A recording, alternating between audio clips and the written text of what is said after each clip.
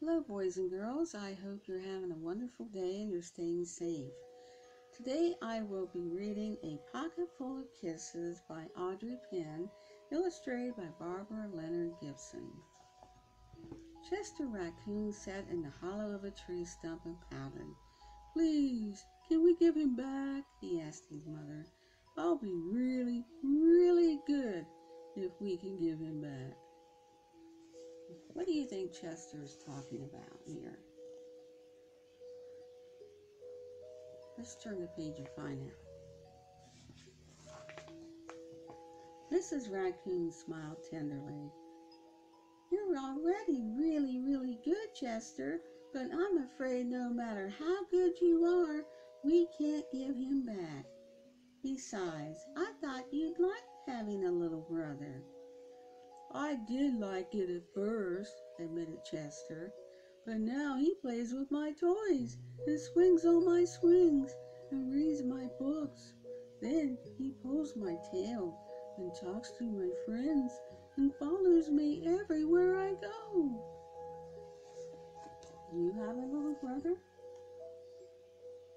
Or maybe a sister?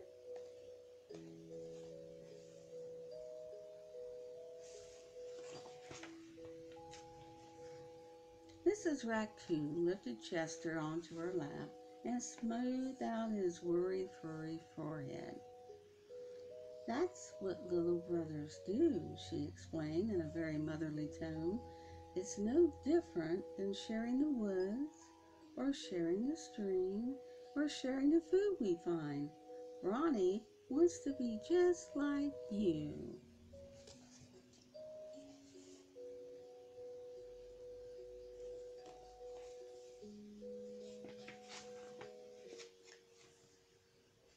Mrs. Raccoon placed Chester on the ground and smiled at him with the soft, loving eyes he knew so well.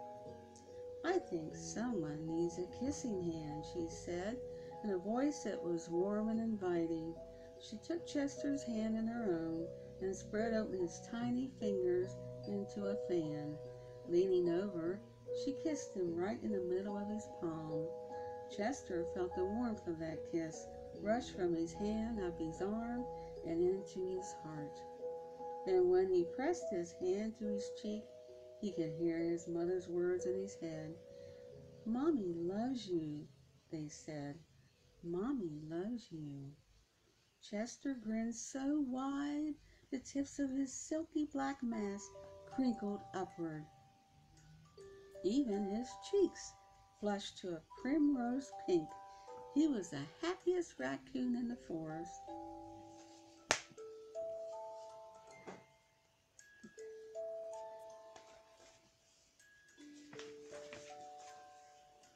Then, in the blink of a moment, all the joy went out of the little raccoon. His pink cheeks paled, and a stream of tiny hot tears fell like spring rain down his sad little face. Even his silky black mask drooped as he watched his mother reach down take Ronnie's hand in her own, open his tiny fingers into a fan, and kiss his brother right in the middle of the palm.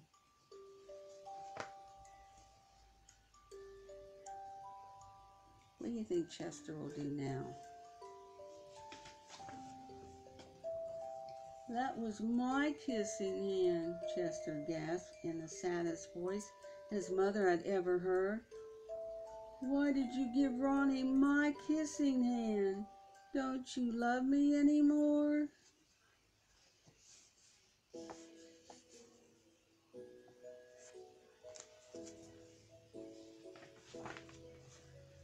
Oh, Chester, cried Mrs. Raccoon, of course I love you. Then how come you gave the baby my kissing hand? asked Chester.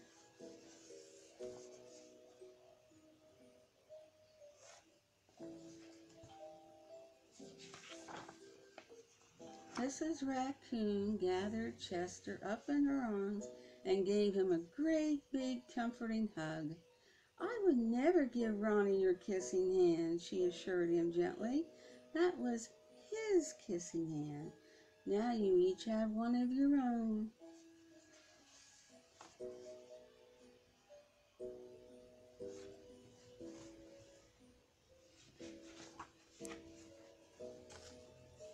Chester wiped away his tears and settled in his mother's lap.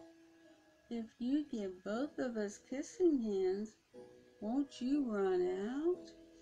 Mrs. Raccoon laughed. Would you like to hear a story? she asked Chester. About kisses? About stars, said Mrs. Raccoon.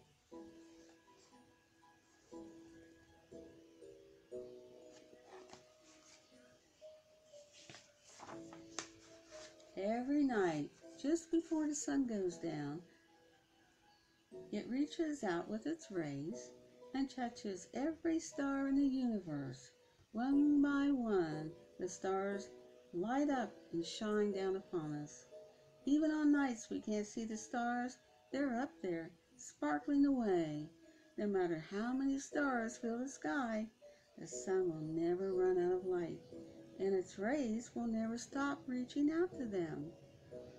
That's the way it is with kissing hands.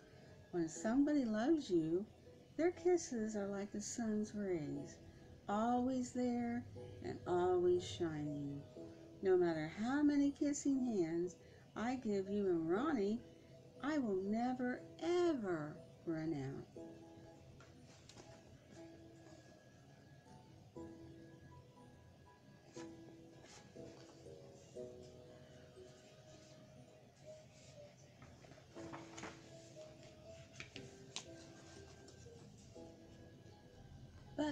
You are right about one thing, Mrs. Raccoon told Chester. Ronnie's big brother widened his eyes and looked surprised. What's that? he asked his mother. You are the big brother, and that deserves something extra special. What do you think that could be? Let's find out.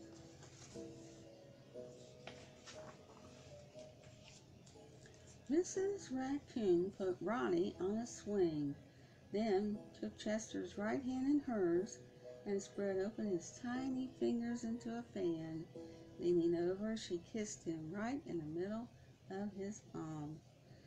That kiss is for your pocket, she told him. Take good care of it and keep it as a spare. You never know when a big brother might need a little extra care.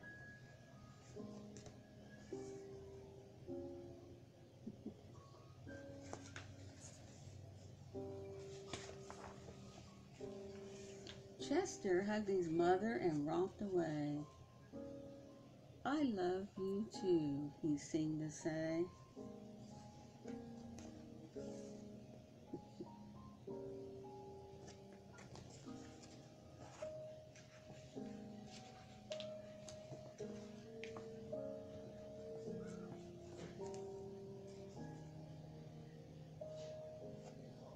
That's it for our story, boys and girls. Until next time, have a good day.